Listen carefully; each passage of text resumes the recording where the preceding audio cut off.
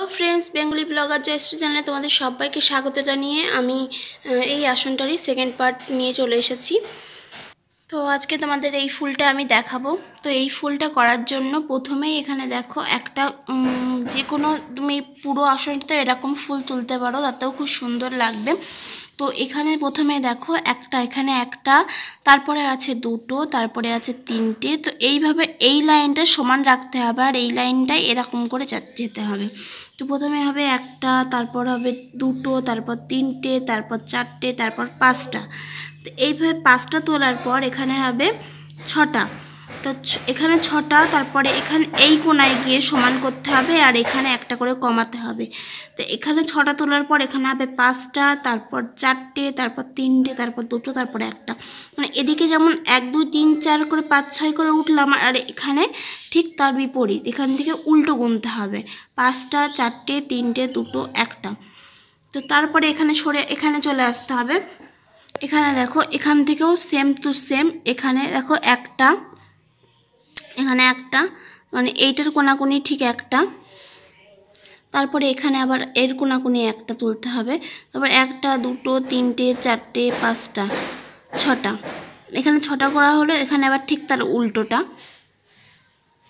এখানে আবার পাঁচটা, চারটে, তিনটে, দুটো, একটা। তো এইভাবে দুটো পাতা কমপ্লিট হবে।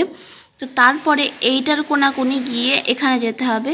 এখানে গিয়ে এখানে প্রথমে ছটা, তারপরে আবার ছটা, ঠিক আছে? এইভাবে করতে হবে। এখানে ছটা এখানে ছটা, এগুলো সবই ছটা ছটা করে এই কোনা, এগুলো কোনা কোনা করে একটা ঘর করে গ্যাপ দিলে এইটার কোনা কোণে ধরলে পরে, এইটার একটা করে কোনা ধরলে পরে, ছটা করে গুনলে পরে তোমার পাতাটা ঠিক এরকম এসে পৌঁছাবে।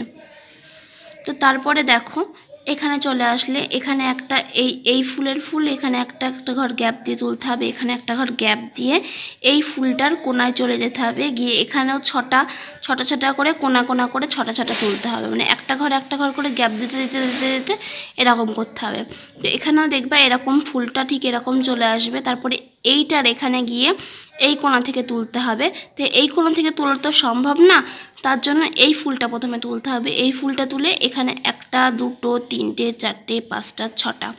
তো এইভাবে ছটা পরপর তুললে পরে তারপরে এখান থেকে একটা করে গ্যাপ দিতে দিতে গেলে পরে পাঁচটা, চারটে, তিনটে, দুটো, একটা। তো এরকম চলে আসবে।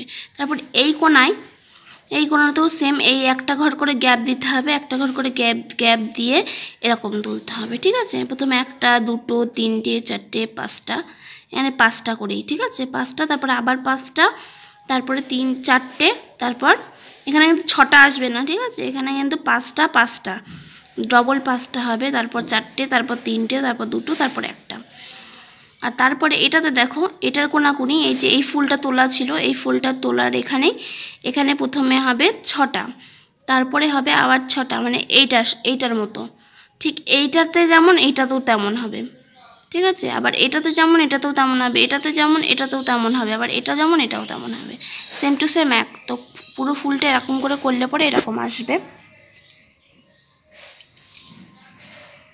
আর গাছটা এখানে, গাছটা আগে তুলতে হবে, তারপর টিয়া পাখিটা তুলতে হবে। তো এখানে গাছ আর টিয়া পাখি তোমাদেরকে গাছটা বলা সম্ভব হলেও টিয়া পাখিটা বলা সম্ভব হবে না এইভাবে না দেখে করলে। তো তোমরা, আমি এখানে আস্তে আস্তে দেখাচ্ছি। তোমরা আগে এটা দেখে তুলে নিও। তারপরে গা, আগে গাছটা তুলে তারপর টিয়া পাখিটা তুলো ঘর গুনে গুনে। ভিডিওটা পজ করে করে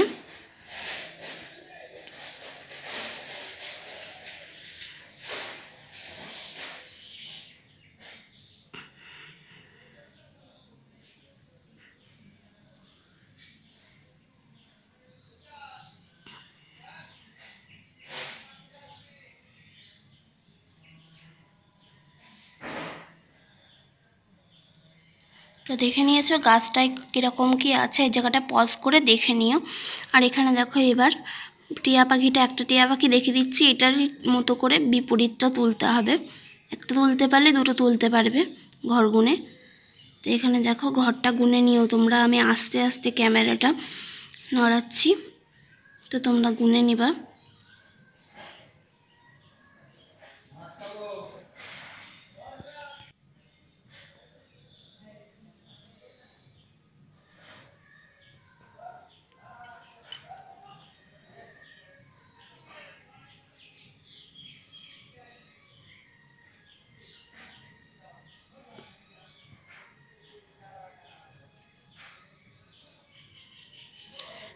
তো এইটাও ঠিক সেম